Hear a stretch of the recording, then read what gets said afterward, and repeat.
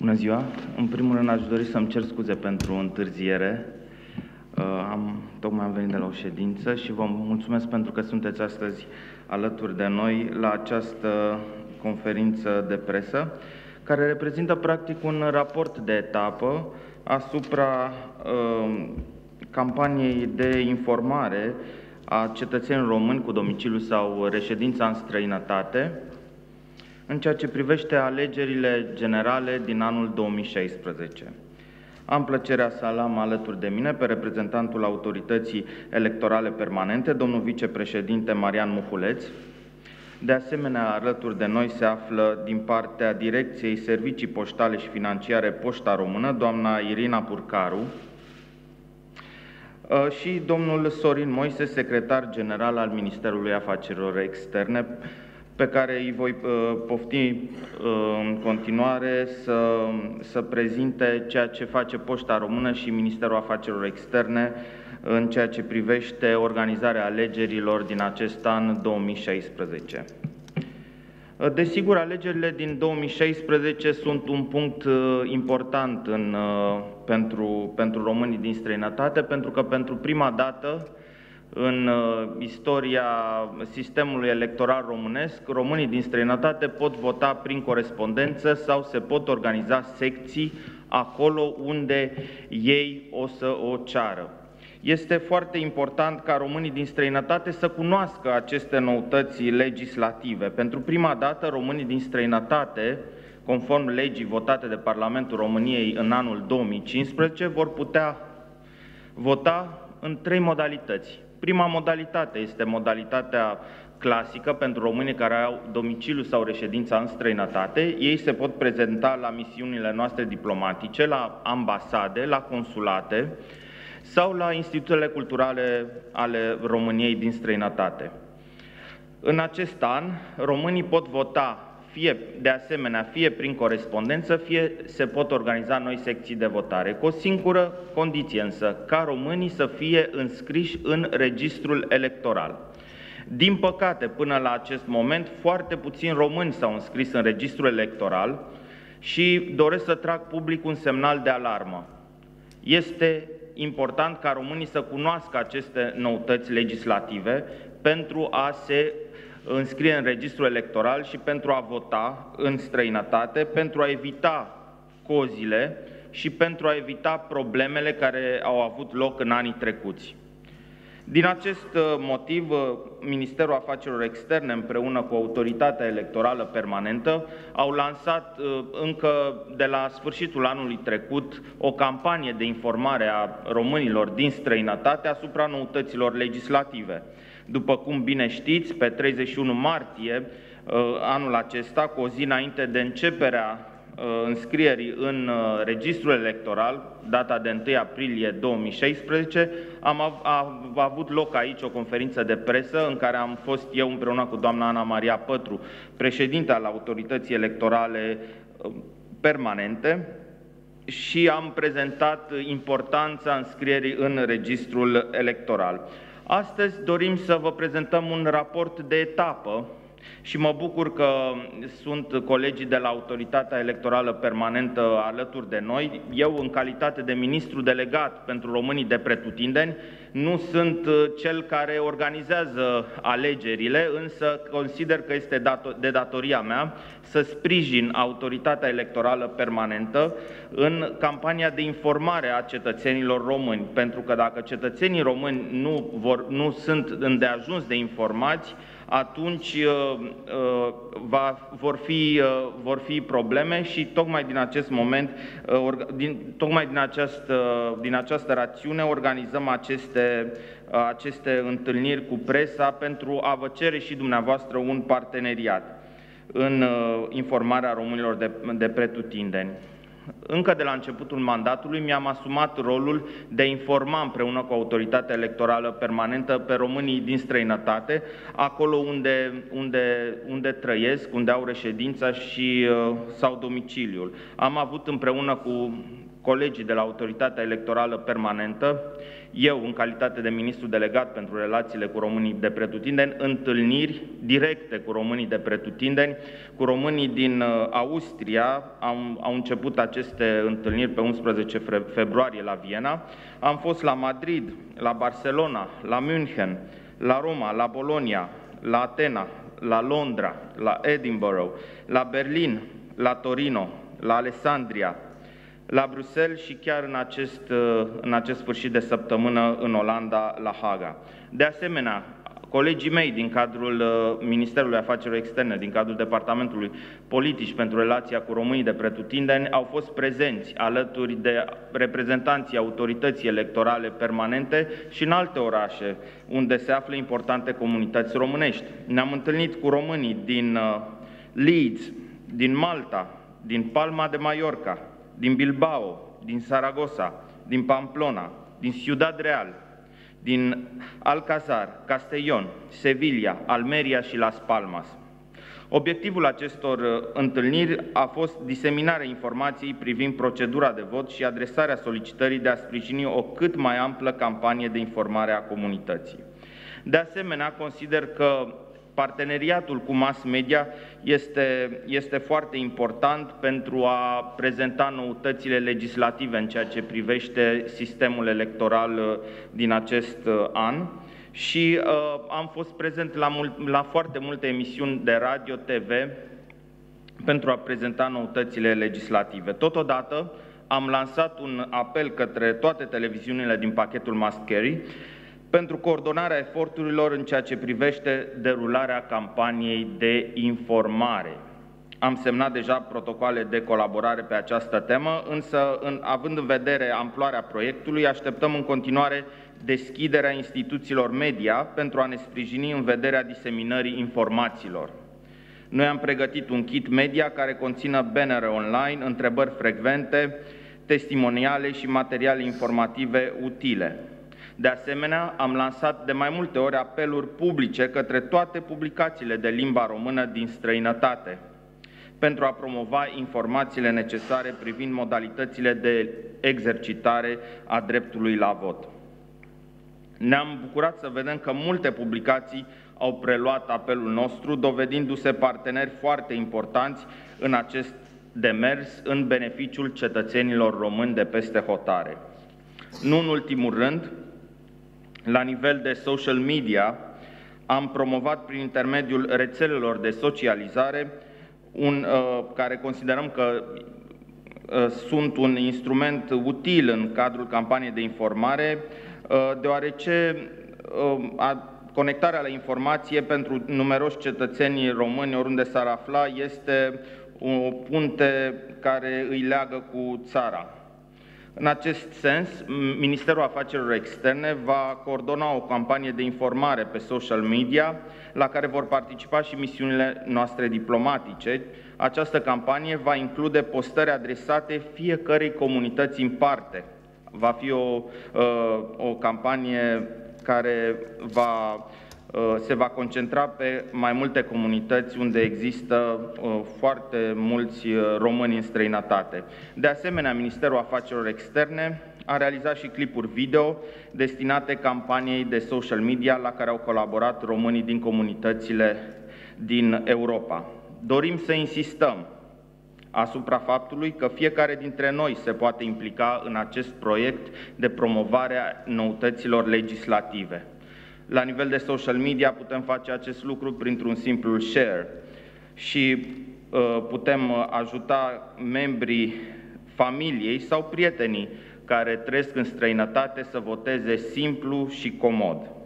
De asemenea, în cadrul Ministerului Afacerilor Externe există o echipă de comunicare și o echipă de, de, uh, de coordonare a, a organizării alegerilor condusă de secretarul general Sorin Moise, Uh, și uh, la nivelul uh, website-ului Ministerului Afacerilor Externe, încă de pe data de 2 martie a fost lansat o secțiune dedicată alegerilor care conține informații utile pentru cetățenii români din străinătate în vederea exercitării dreptului la vot. De asemenea, există uh, un acces pe site-ul ME în cadrul campaniei de informare la un calendar interactiv disponibil pe site printr-un simplu click și o să vă arătăm în, în, în continuare și cum se va face acest lucru. De asemenea, foarte utilă am considerat că este și rubrica online Întrebări frecvente, care conține bannere online cu cele mai frecvente întrebări puse de cetățenii români,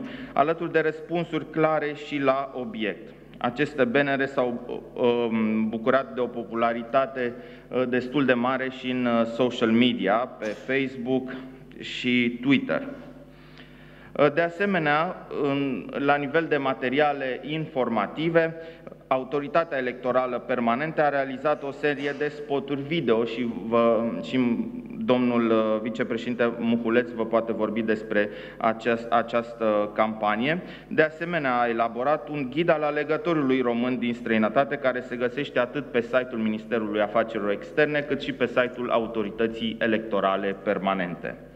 Uh, în curând, Ministerul Afacerilor Externe va lansa și alte spoturi video în variantă scurtă și lungă pentru a promova eficient informațiile prin intermediul social media și mass media.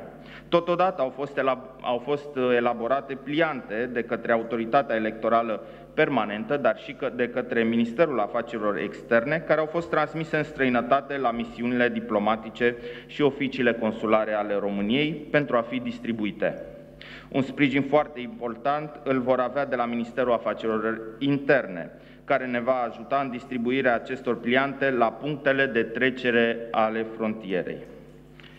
De asemenea, ă, o să am luat anumite măsuri în ceea ce privește, în ceea ce privește asistența acordată de misiunile diplomatice și oficiile consulare ale României. Domnul secretar general Sorin Moise vă va prezenta aceste chestiuni. Nu în ultimul rând, consider că de, considerăm că dezbaterea publică este absolut ă, importantă. Obiectivul nostru este informarea corectă a cetățenilor, și ne dorim o transparență, o deschidere și o colaborare totală cu toți cei care pot contribui la îndeplinirea acestui obiectiv. În acest sens, la sfârșitul lunii februarie, Ministerul Afacerilor Externe a găzduit o dezbatere cu privire la gestionarea procesului electoral în vederea alegerilor parlamentare din anul 2016. Acest eveniment a fost organizat în colaborare cu Ministerul pentru Consultare Publică și Dialog Civic și cu Autoritatea Electorală Permanentă. La dezbatere au participat reprezentanții ai societății civile. În viitorul apropiat ne propunem să mai organizăm o dezbatere de acest timp în cel mai scurt uh, timp posibil. Uh, în concluzie, doresc să subliniez faptul că, noile, potrivit noilor modificări legislative, statul român nu va putea înființa noi secții de votare în afară de cele care se vor organiza la misiunile diplomatice ale României, decât dacă românii din străinătate o, o vor solicita.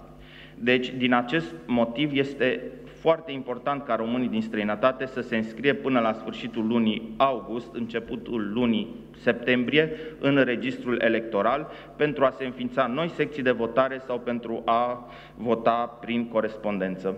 Aș uh, propune să urmărim un scurt, uh, un scurt uh, clip al Ministerului Afacerilor Externe și apoi îi voi da cuvântul domnului Uh, domnului uh, Marian Muhuleț, vicepreședintele Autorității Electorale Permanente.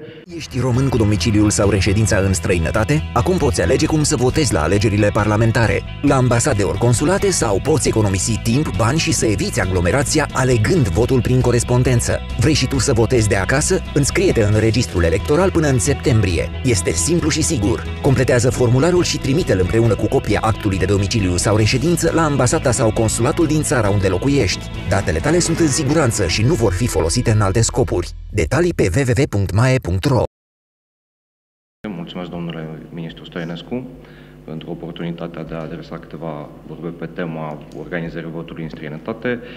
După cum știți, Autoritatea Electorală Permanentă, tocmai a, mă rog, zilele acestea se va finaliza procesul uh, privind organizarea alegerilor locale probleme majore nu au existat în cadrul procesului de organizare al alegerilor locale din acest an. Atenția noastră se îndreaptă în acest moment către partea de ce înseamnă organizarea aspecte tehnice ale alegerilor parlamentare din toamna acestui an.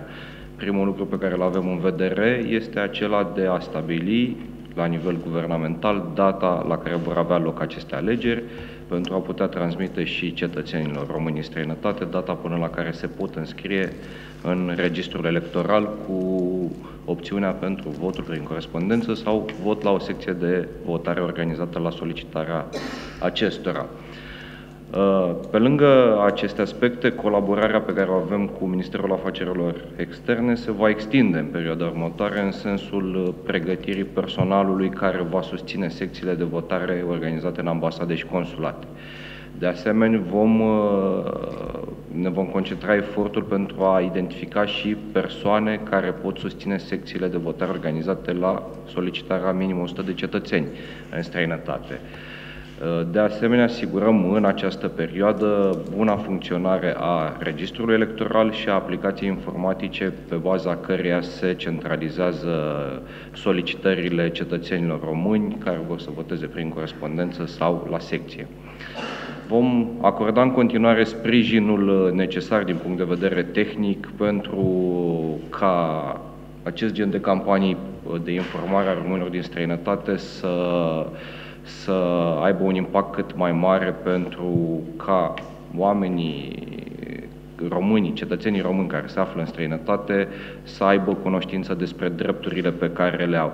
Și așa cum am afirmat cu ocazia reuniunilor pe care, la care am participat și eu în, în străinătate, românii din străinătate în acest moment sunt mai favorizați decât românii din țară în perspectiva dreptului de vot. Sunt, dacă vreți, discriminați pozitiv și este, este de datoria lor să cunoască toate aceste aspecte, să se informeze prin apel la misiunile diplomatice ale României, la consulate, ambasade, ICR-uri, unde găsesc toate informațiile, la asociațiile românilor din străinătate care au participat la aceste reuniuni într-un număr semnificativ, să-și preia informații de acolo, să poată să-și descarce cererile de, de, de vot pentru, prin intermediul corespondenței sau prin intermediul unei secții mai aproape de domiciliu sau de reședința lor și o transmită în termen util.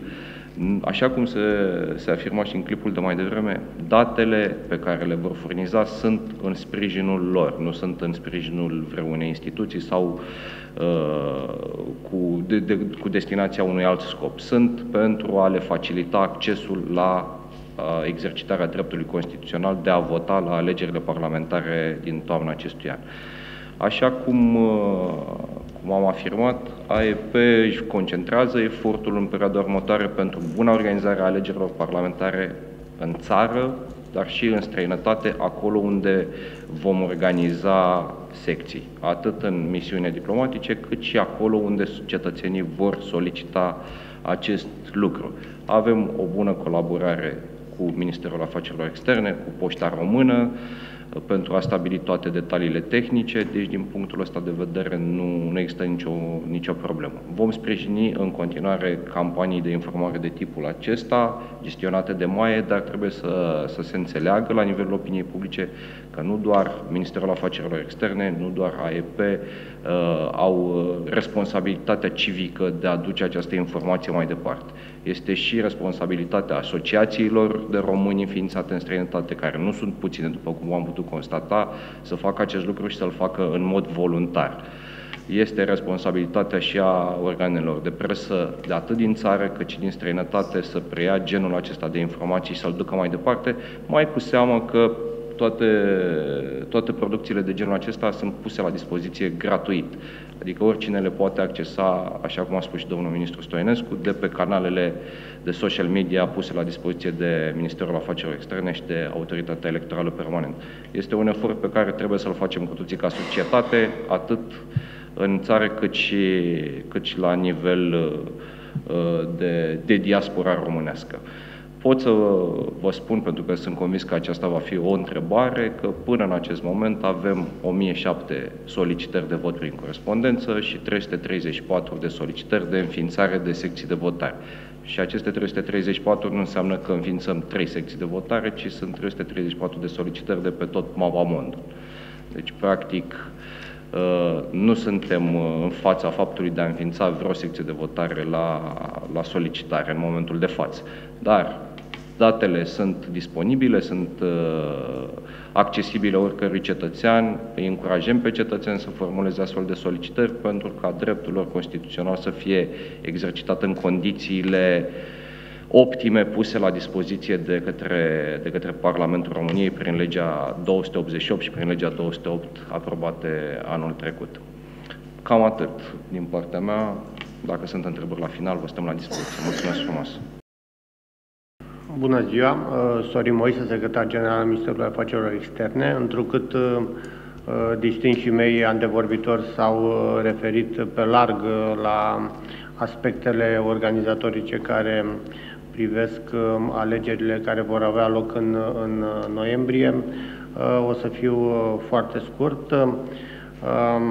Sigur că principala uh, obligație din această perioadă a Ministerului Afacerilor Externe, alături de Autoritatea Electorală Permanentă, uh, este aceea de informare a cetățenilor români uh, cu domiciliu sau reședința din străinătate cu privire la noile modalități de exercitare a dreptului de vot. Acest lucru s-a întâmplat și domnul ministru Stoienescu a descris pe larg eforturile Uh, care s-au făcut și se vor face în continuare în, în, um, în acest sens. Pe lângă aceasta, uh, vreau să vă spun că misiunile diplomatice, oficiile consulare, institutele culturale românești din străinătate au, um, o, au primit instrucțiuni, au o sarcină permanentă de a disemina uh, toate informațiile referitoare la alegerile um, din, din toamna sau începutul iernii acestui an uh,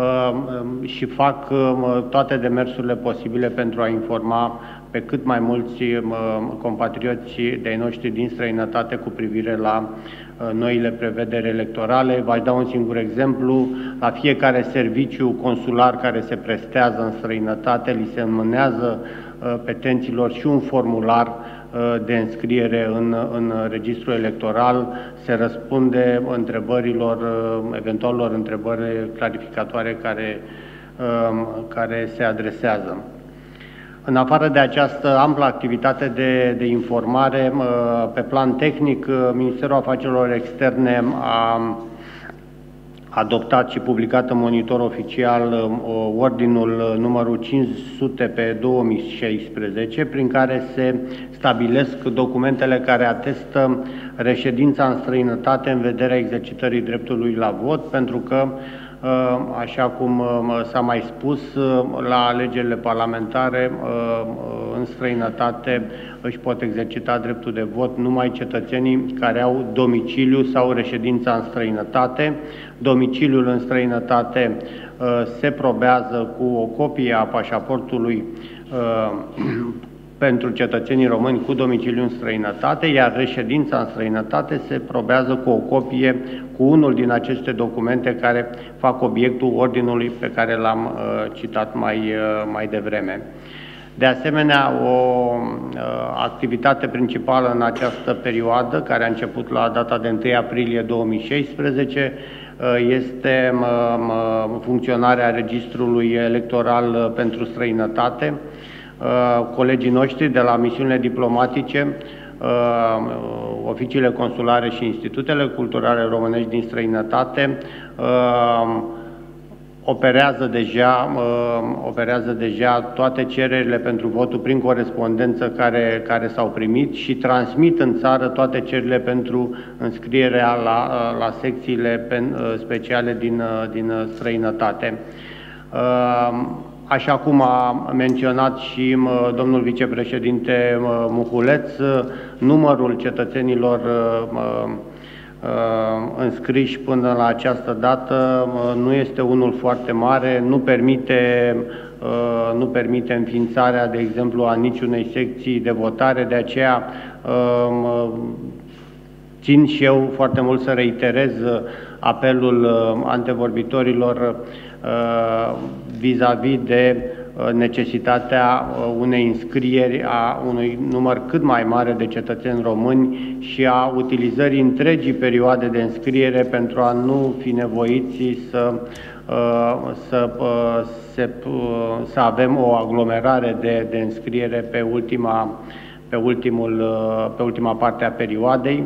De asemenea, salutăm, salutăm și um, decizia autorității permanente de a, de a grăbi um, um, hotărârea pentru publicarea datei privind alegerile, în acest fel putând face cunoscută mai clar care este data concretă, reală, la care se înscrie perioada în care cetățenii români cu domiciliu sau reședința în străinătate se pot înscrie în, în registrul electoral.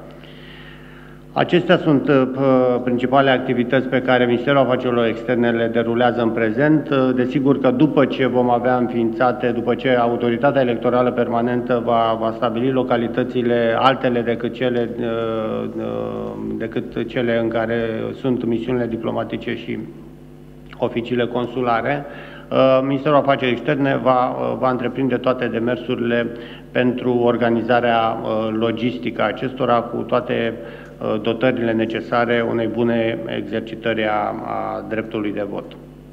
Vă mulțumesc și uh, de asemenea vă stau la dispoziție pentru eventuale întrebări. Bună ziua, mă numesc Irina Burgaru, sunt directorul Direcției Operațiuni și Relații Comerciale din cadrul Poștei Române. Mulțumesc domnului ministru pentru această invitație. Um, Aș vrea să încep prin a vă spune că Poșta Română este, contribuie la, dezvolt, la desfășurarea procesului votului prin corespondență, prin organizarea serviciilor poștale de expediere a documentelor către votanții din străinătate și prin uh, înapoierea plicurilor conținând votul prin corespondență către birourile electorale. Procesul nu creează poștei române probleme, pentru că poșta română face lucrurile astea expedind în străinătate tot felul de plicuri, care sunt plicuri simple, plicuri înregistrate. Am ales să folosim două tipuri de servicii, care sunt servicii înregistrate, serviciul de trimitere cu confirmare de primire și serviciul de uh, tip Express Mail Services, tocmai pentru a avea în timp real informații despre um, stadiul uh, trimiterii poștale pe tot fluxul tehnologic. Um, ca și um, raport de etapă, putem spune că în această fază suntem um, în, într-un proces de proiectare a aplicațiilor informatice care pot uh, uh, interconecta toate informațiile care au legătură cu starea trimiterii poștale pe fluxuri. Săptămâna viitoare urmează întâlniri cu reprezentanții autorității electorale pentru a testa aplicațiile și pentru um, a finaliza procesul poștal pe partea de înregistrare, track and trace și orice este necesar pentru ca trimiterile poștale să, po- să poată fi vizualizate în timp real uh, pe tot fluxul tehnologic. A fost semnat contractul sau mai bine spus, acordul cadru cu Ministerul uh, Comunicației și Societății Informaționale uh, pentru a formaliza tot procesul și pentru a definitiva uh, care sunt tipurile de trimitere poștale care vor face obiectul procesului poștal. În plus, Poșta Română, pe lângă expedierea trimiterilor, este implicată și în partea de confecționare a plicurilor care vor sta la baza documentelor uh, uh, expediate în procesul poștal. E vorba de plicul exterior, plicul interior și toate elementele de securitate. Uh, suntem uh, aproape uh, de final cu comunicarea către Uniunea Poștală Universală, prin care, în prima etapă, am informat Uniunea Poștală Universală că în România vor avea loc alegeri parlamentare. Uniunea Poștală Universală, la rândul ei, va transmite circulare către toate administrațiile poștale, astfel încât procesul să fie promovat la nivelul administrațiilor poștale um, implicate în procesul de vot. Um, când vom ști data exactă a alegerilor, vom reveni veni către Uniunea Poștală Universală, prin care vom comunica exact care va fi data alegerilor, pentru ca Uniunea Poștală Universală să comunice la rândul ei către toate administrațiile poștale data um, alegerilor și um, să susțină administrațiile poștale în expedierea plicurilor de retur. Cam astea sunt informațiile de la Poșta Română. Dacă sunt uh, întrebări pentru Poșta Română, sunt uh, la dispoziția dumneavoastră. Deocamdată nicio țară cu care am comunicat uh, nu, um, nu, a, nu ne-a creat probleme. Cred că China a fost singura care nu a răspuns, dar astăzi am primit și um, informația că de la nivelul administrației poștale chineze avem un răspuns. Bună ziua, Alexandra Albu, Digi24. Uh, întrebarea este atât pentru dumneavoastră, domnule vicepreședinte, cât și pentru Dan, domnul Dan Stoienescu uh, și pentru domnul Sorin Moise, de unde poate veni informația aceasta. Ne-ați furnizat uh, numărul celor care s-au înregistrat în acest registru electoral. Întrebarea este, s-a făcut vreo estimare ca să putem să facem un raport, da? Sunt 1000, aproape 1400 să facem un raport câți români cu drept de vot au domiciliu sau reședința în străinătate? Există vreo estimare să putem face cât, cât ar mai trebui, câți dintre ei ar trebui să mai registreze în următoarele trei luni sau câte mai sunt? Oficială nu. Aveți nu. Of- oficial doar o cifră de aproximativ 500.000 de cetățeni români cu domiciliu în străinătate, care au pașaport de cetățean român cu domiciliu în străinătate. Și altă informație nu există, nu? Adică Având în vedere că cetățenii români beneficiază de libera circulație, nu putem să avem o cifră a prezenței lor în străinătate și mai ales o cifră a prezenței lor în străinătate la momentul alegerilor parlamentare. Uh, și a doua întrebare, vreau doar să fim foarte clari. Dacă cei care se în, intră în registrul electoral și uh, nu se fac, adică nu sunt suficienți cei care aleg să voteze la o secție de votare, să fie înființată pentru acel număr minim de 100 de locuitori. Ei nu au altă opțiune, adică trebuie să meargă la misiunile diplomatice sau la instituțiile culturale sau la oficiile consulare. Adică dacă au optat și nu s-a înființat o altă secție, nu s-a înființat o secție de votare pentru ei, nu au altă opțiune, nu? E corect. Merg și, la și cea mai apropiată secție de votare organizată în misiune diplomatică sau Institutul Cultural Român. Și dacă... Dar aș vrea să facem o precizare. Uh, nu există un registru electoral al cetățenilor români în străinătate. Este registrul electoral al alegătorilor români. În acest registru electoral în care suntem cuprinși toți alegătorii români, toți cetățenii români cu drept de vot de peste 18 ani, facem doar mențiunea că vrem să votăm prin corespondență sau la o altă secție de votare înființată la solicitarea noastră. Uh, în anii trecuți, în țările unde există comunități numeroase de români, cum sunt Italia sau Spania, s-au înființat acele secții pe lângă cele de, de pe lângă misiunile uh, diplomatice, s-au înființat secții acolo unde se știau că există un număr mare de români. Anul acesta nu va mai fi cazul, nu? Acesta, Parlamentul a schimbat paradigma, oferind două metode alternative la respectivele secții de votare, își concentrează eforturile pe înființarea secțiilor de votare în misiuni diplomatice și CR-uri acolo unde avem teritoriul românesc, ca să zic așa, în străinătate, iar celelalte se vor înființa la solicitarea alegătorilor pentru ca să nu se mai repete problemele, un gen de probleme de la alegerile prezidențiale, unde știm ce s-a întâmplat. În felul acesta, cetățenii români ne anunță exact unde își doresc să fie secția de votare. Vă mulțumesc. Nu mai sunt alte întrebări închid eu această conferință de presă, mulțumindu-vă pentru prezență și reiterând apelul către dumneavoastră de a transmite informațiile puse atenție dumneavoastră astăzi către cetățenii români din străinătate. Mulțumim frumos!